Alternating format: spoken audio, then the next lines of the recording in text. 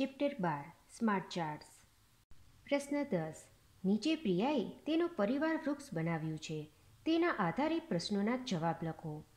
પરિવાર વૃક્ષ, family tree. અહીં ત્રિવેદી પરિવારનું પરિવાર વૃક્ષ દર્શાવેલ છે. જેમ કે દાદા અને દાદી. દાદાની ઉંમર પાસઠ વર્ષ, જ્યારે દાદીની ઉંમર સાઠ વર્ષ. આ દાદાને બે દીકરા, મોટો દીકરો તે ચાલીસ વર્ષ. નાનો દીકરો, તે આડત્રીસ વર્ષ. હવે, આ બંને દીકરાના પત્ની. તેમાં મોટા બાપુ એટલે મોટા દીકરાના પત્ની એટલે મોટા બા. તે પાંત્રીસ વર્ષના. જ્યારે નાનો દીકરો, પિતા. તેના પત્ની, માતા, જે બત્રીસ વર્ષના. હવે મોટા દીકરાને સંતાનમાં એક દીકરો અને એક દીકરી. દીકરી બાર વર્ષના. જ્યારે દીકરો તે નવ વર્ષના. જ્યારે નાના દીકરાને પણ સંતાનમાં એક દીકરો અને એક દીકરી. દીકરી તે દસ વર્ષ. જ્યારે દીકરા મનનની ઉંમર સાત વર્ષ. હવે આ વિગત પરથી નીચે આપેલા પ્રશ્નોના જવાબ આપવાના રહેશે. તેમાં પહેલો પ્રશ્ન, પ્રિયાના જન્મ સમયે તેના પિતાની ઉંમર કેટલી હતી? જો, પ્રિયાની હાલની ઉંમર દસ વર્ષ છે. હવે પ્રિયાના જન્મ સમયે તેની ઉંમર કેટલી હોય? હા, ઝીરો વર્ષ. તેનો જન્મ જ થયો હોય તેની ઉંમર તે ઝીરો વર્ષ. આમ, અત્યારની ઉંમર, હાલની ઉંમર દસ વર્ષ હોય. અહીં વાત છે દસ વર્ષ પહેલાંની. જ્યારે પ્રિયા જન્મ સમયે, એટલે કે ઝીરો વર્ષની ઉંમર હતી, ત્યારે પિતાની ઉંમર, આથી અહીં પિતાની ઉંમરમાંથી પણ દસ વર્ષ બાદ કરવાના રહે. આથી આડત્રીસમાંથી દસ બાદ કરતાં અઠ્યાવીસ વધે. આથી જવાબ થશે કે પ્રિયાના જન્મ સમયે પિતાની ઉંમર અઠ્યાવીસ વર્ષ હશે. પ્રશ્ન બે. પ્રિયાની પિતરાઈ બહેન તેનાથી ઉંમરમાં કેટલી મોટી છે? તો પ્રિયાની પિતરાઈ બહેન એટલે નિશા. પ્રિયાની હાલની ઉંમર દસ વર્ષ, જ્યારે નિશાની હાલની ઉંમર બાર વર્ષ. અહીં બારમાંથી દસ બાદ કરતાં બે વર્ષ વધે. ખરું ને? આથી જવાબ થશે કે પ્રિયાની પિતરાઈ બહેન તેનાથી ઉંમરમાં બે વર્ષ જેટલી મોટી છે. પ્રશ્ન ત્રણ. મનના જન્મ સમયે તેના દાદીની ઉંમર કેટલી હતી? આ માટે પરિવાર વૃક્ષમાં જોતા મનનની હાલની ઉંમર સાત વર્ષ, જ્યારે દાદીની સાઠ વર્ષ. જ્યારે મનનનો જન્મ થયો હોય, ત્યારે તેની ઉંમર તે ઝીરો વર્ષ હોય. એટલે કે આ વાત સાત વર્ષ પહેલાંની છે. તો સાત વર્ષ પહેલાં દાદીની ઉંમર શું હોય? તો સાઠ વર્ષમાંથી સાત વર્ષ બાદ કરતાં ત્રેપન વર્ષ મળે. આથી જવાબ થશે કે મનનના જન્મ સમયે દાદીની ઉંમર ત્રેપન વર્ષ હતી. પ્રશ્ન ચાર. સંજયના જન્મ સમયે તેની કાકીની ઉંમર કેટલી હતી? આ માટે પરિવાર વૃક્ષમાં જોતા સંજયની હાલની ઉંમર નવ વર્ષ અને તેના કાકી એટલે તેના પપ્પાના નાના ભાઈના પત્ની એટલે માતા, જેની હાલની ઉંમર બત્રીસ વર્ષ. હવે સંજયના જન્મ સમયે કાકીની ઉંમર શોધવાની હોય, અહીં નવ વર્ષ પહેલાંની વાત છે. એટલે કે માતાની હાલની ઉંમરમાંથી નવ વર્ષ બાદ કરીએ તો કેટલા મળે? બત્રીસમાંથી નવ બાદ કરતાં ત્રેવીસ મળે. આથી અહીં જવાબ થશે કે સંજયના જન્મ સમયે તેની કાકીની ઉંમર ત્રેવીસ વર્ષ હતી. પ્રશ્ન પાંચ. સૌથી મોટા વડીલ અને સૌથી નાના બાળકની ઉંમરનો તફાવત કેટલો છે? તફાવત એટલે બાદ બાકી, મોટી સંખ્યામાંથી નાની સંખ્યા બાદ કરવી. અહીં સૌથી મોટા વડીલ એટલે દાદા, જેની હાલની ઉંમર પાસઠ વર્ષ અને સૌથી નાનો બાળક એટલે મનન, તેની હાલની ઉંમર સાત વર્ષ. હવે, આ બંને ઉંમરનો તફાવત શોધવાનો હોય, પાસઠમાંથી સાત બાદ કરીએ. આથી જવાબ મળે અઠાવન. આ મોટા, વડીલ અને સૌથી નાના બાળકની ઉંમરનો તફાવત અઠાવન વર્ષ છે. પ્રશ્ન અગિયાર. દીપકે મગની દાળનો એક દાણો જમીનમાં નાખ્યો. તેમાંથી અંકુરિત થઈ નીકળતા છોડની પ્રતિદિન વૃદ્ધિ નીચેના કોષ્ટકમાં દર્શાવ્યા મુજબ થાય છે. જેમ કે અહીં દિવસ, અહીં છોડની ઊંચાઈ જે સેન્ટીમીટર એકમમાં દર્શાવેલ છે. ચાર દિવસે આ છોડની ઊંચાઈ થઈ એક પોઈન્ટ બે સેન્ટીમીટર. તે મુજબ, આઠ દિવસ, બાર દિવસ, સોળ દિવસ અને વીસ દિવસ દરમિયાન છોડની વૃદ્ધિ અહીં દર્શાવેલી છે. કોષ્ટકની વિગતના આધારે લંબાલેખ તૈયાર કરો તથા પ્રશ્નોના જવાબ આપો. અહીં આપેલ આ કોષ્ટકની વિગત પરથી આપણે અહીં લંબાલેખ તૈયાર કરવાનો રહેશે. હવે કોષ્ટકમાં જોતા પ્રથમ ચાર દિવસે છોડની ઊંચાઈ તે એક પોઈન્ટ બે સેન્ટીમીટર દર્શાવેલ છે. હવે લંબાલેખ દોરવા અહીં નીચે દિવસ, જ્યારે અહીં ઊંચાઈ સેન્ટીમીટર એકમમાં દર્શાવેલ છે, જેમ કે એક સેમી, બે સેમીથી શરૂ કરીને બાર સેમી સુધી. હવે ચાર દિવસે છોડની ઊંચાઈ થઈ એક પોઈન્ટ બે સેન્ટીમીટર. તો એક પોઈન્ટ બે સેન્ટીમીટર આપણે જાણીએ છીએ કે તે એક અને બેની વચ્ચે આવે, ખરું ને? આ માટે યાદ કરવું જોઈએ કે આપણે સ્કેલ ફૂટપટ્ટીની મદદથી એક પોઈન્ટ બે સેન્ટીમીટરની લીટી દોરવી હોય તો આપણે કઈ રીતે દોરીએ છીએ? આ માટે લીટી દોરવાનું ઝીરોથી શરૂ કરીએ છીએ અને એક પછીના બીજા નંબરના કાપા સુધી આપણે લીટી દોરીએ છીએ. આ થશે એક પોઈન્ટ બે સેન્ટીમીટર જે એક અને બેની બરાબર વચ્ચેના એક પોઈન્ટ પાંચથી પણ નાનું થયું. હવે અહીં આ માપ દર્શાવવા, અહીં એક સેમી, આ બે સેમી, તેની બરાબર વચ્ચે એટલે એક પોઈન્ટ પાંચ અને તેથી પણ ઓછું એટલે એક પોઈન્ટ બે આશે, અહીં આવશે. ખરું ને? આથી અહીં આ મુજબ લંબાલેખ દર્શાવીશું. ત્યારબાદ કોષ્ટકમાં જોતા આઠ દિવસે ચાર પોઈન્ટ આઠ સેન્ટીમીટર ઊંચાઈ વધી.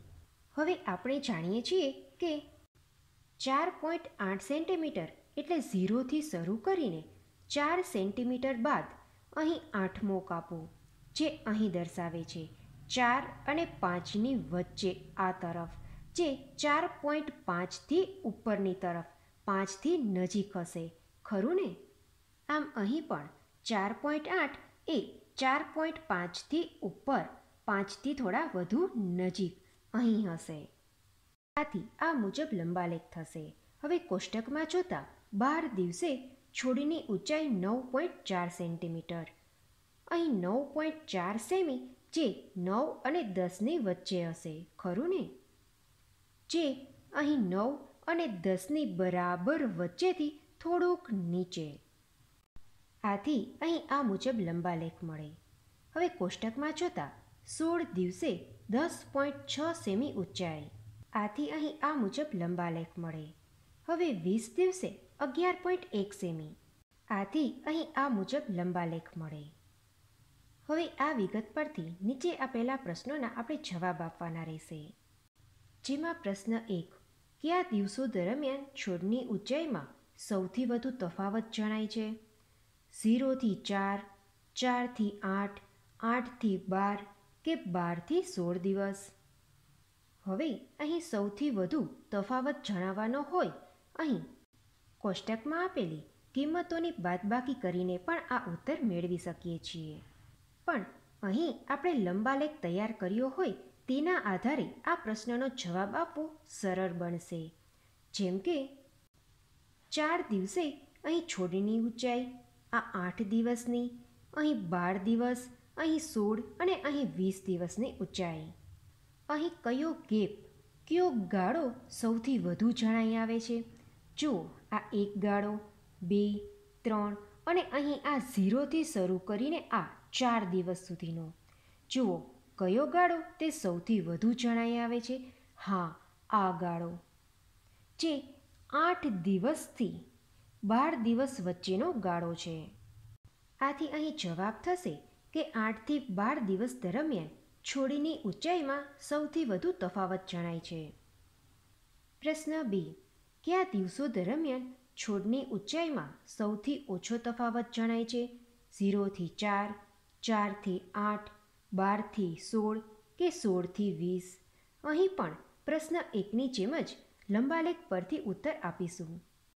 અહીં આપણે સૌથી ઓછો તફાવત જણાવવાનો છે. તો જુઓ આ ઝીરોથી ચાર દિવસ સુધીનો તફાવત. અહીં ચારથી આઠ, હવે બારથી સોળ અને અહીં સોળથી વીસ.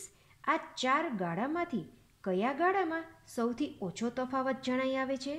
હા, સોળથી વીસ. જુઓ, આ તફાવત. આથી જવાબ થશે સોળથી વીસ.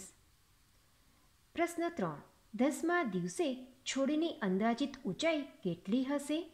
ચાર પોઈન્ટ પાંચ સેમી, સાત પોઈન્ટ એક સેમી, નવ પોઈન્ટ પાંચ સેમી કે ચાર પોઈન્ટ સાત સેમી? આપણે અહીં દસમા દિવસની છોડની અંદાજિત ઊંચાઈ દર્શાવવાની છે.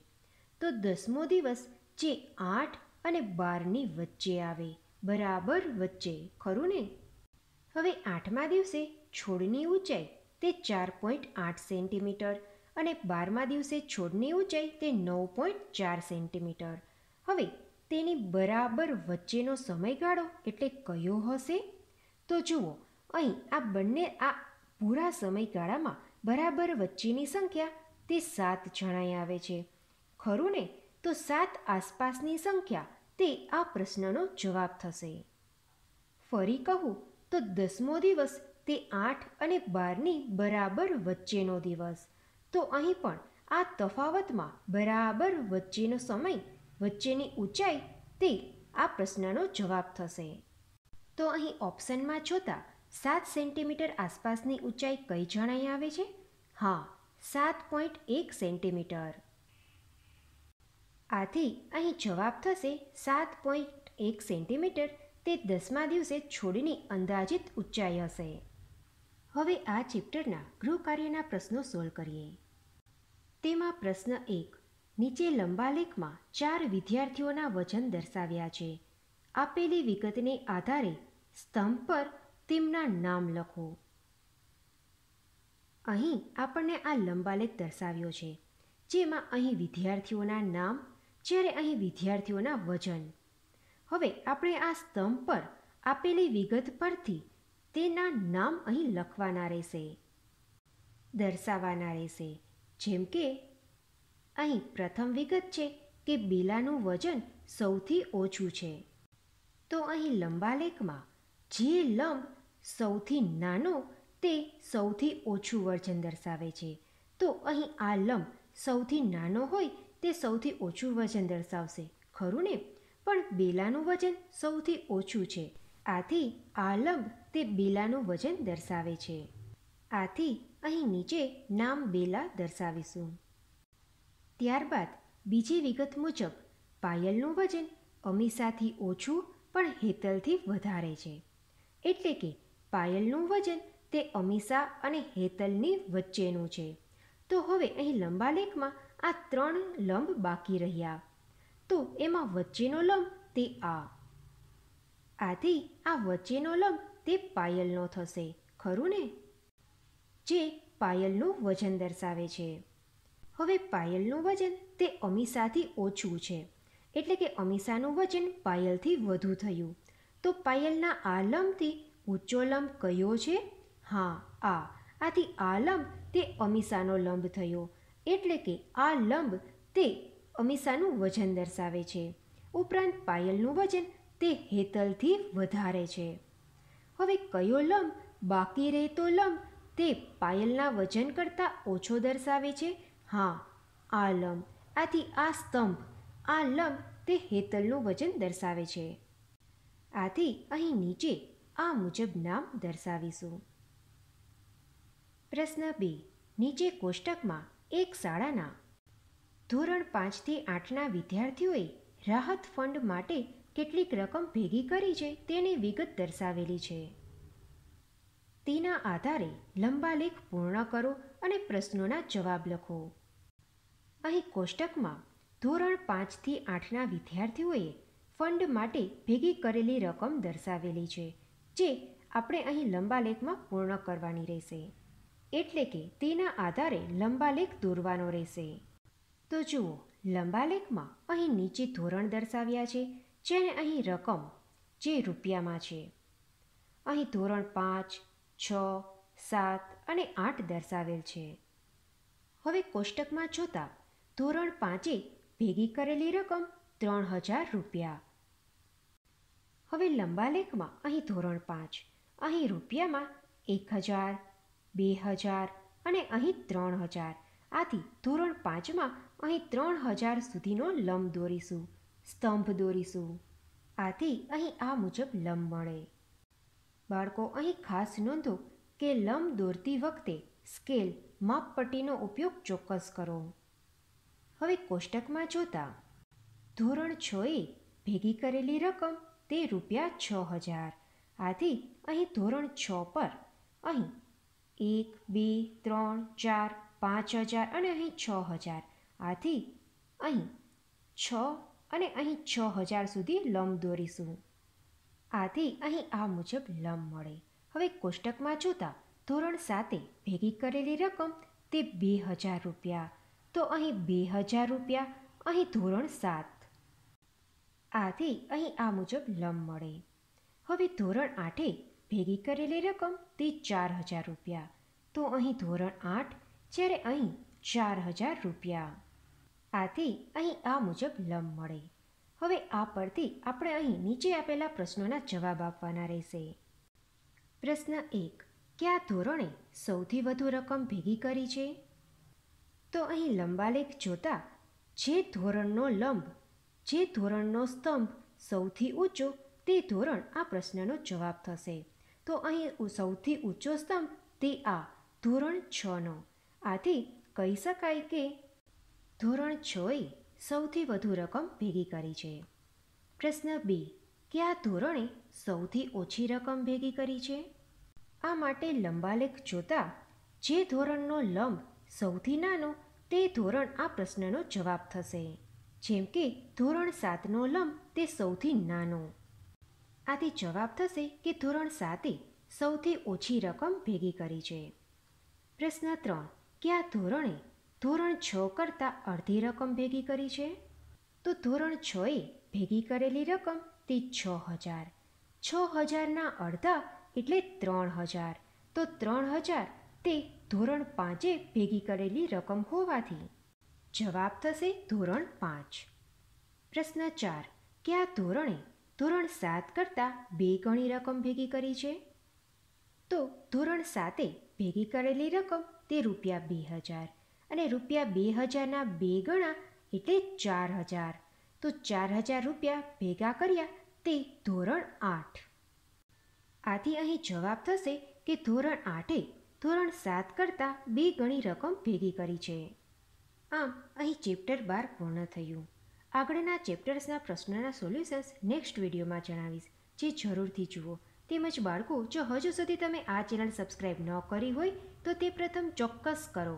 તેમજ વિડીયોમાં નીચે લાઇક બટન દબાવવાનું પણ ભૂલશો નહીં. Thank you